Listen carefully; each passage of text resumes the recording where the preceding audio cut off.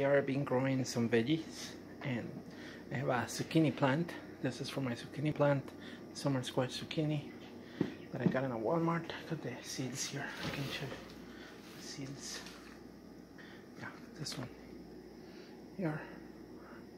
And in all honesty, it grew up okay, but like kind of like um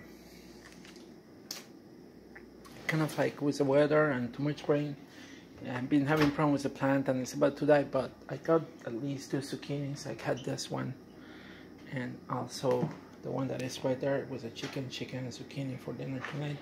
And it tastes really good I have to admit it. I never grown zucchini before and I did it this year and it tastes fantastic.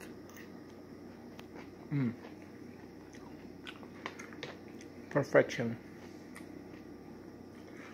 I had to go online to find out how to take it out when to take it out but this is perfect the size is perfect and it's great it tastes really good.